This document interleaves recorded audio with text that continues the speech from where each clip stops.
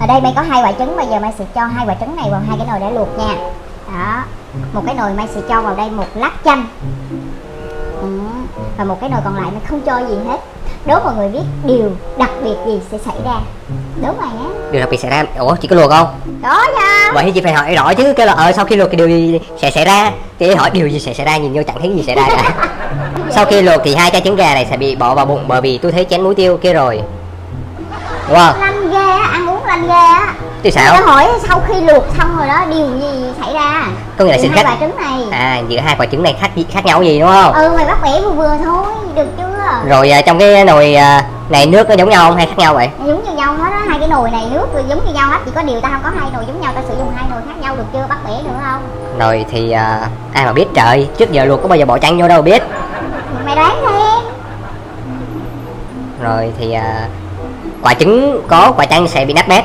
Lao ghê á thôi được rồi đợi lát nữa đi rồi biết. Rồi ok chị may ừ, xong rồi đó. Tên đen ủa thấy cái gì khác biệt đâu? Từ từ giờ vớt quả trứng này ra nha. Đó, quả trứng này có chanh. Quả trứng này có chanh. Bà bỏ bên đó đi bỏ bên đây nè. Quả này đã luôn cho biết. Ok. Dạng đó. Bỏ vào đây. Ok. Đó, quả trứng này là quả trứng không có chanh. Đó. Thấy nó hơi nứt nứt một xíu rồi chưa rồi ok. Đó, rồi nha. Rồi khác Bây nhau giờ- chỗ nào? Từ từ. Không cho nó mùi á. Đó bây giờ thì à, bỏ hai nồi đi nữa bây giờ mày sẽ lột cái quả mà không có bỏ lát chanh vào trước nha. Đó, nhìn xem cho kỹ. Bây giờ.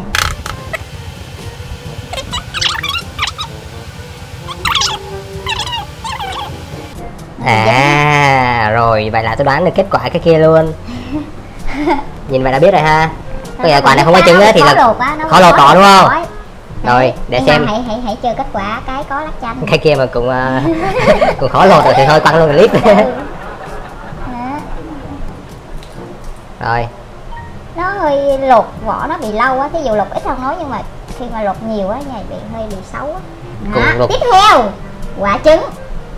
À, có lá chanh nè.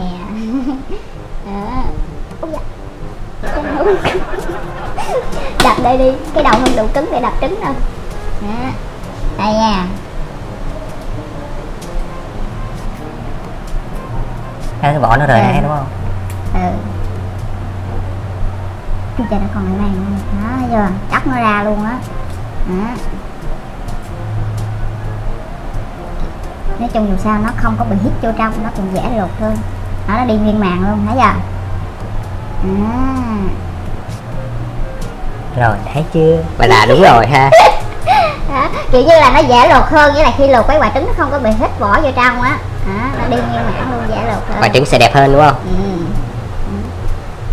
đó nãy giờ là mấy chỉ mọi người cái mẹo luộc trứng bóc dễ đó khi mà bỏ lá chanh vào. Ví dụ mọi người muốn luộc trứng nhiều á ờ, một nồi lớn mà quá trời trứng luôn mọi người cứ bỏ lá chanh vào thì khi mà mình bóc á nó cũng sẽ dễ hơn và nó cũng sẽ đẹp trứng hơn. Đó mọi người thấy không? Giữa hai quả này à nếu mọi người thấy hay hãy like share chia sẻ ủng hộ mấy nha.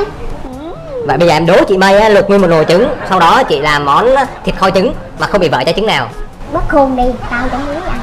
Ngon. Chào chồng ơi. Đó ăn đó đi. Đó. Ừ. bye bye mọi người nha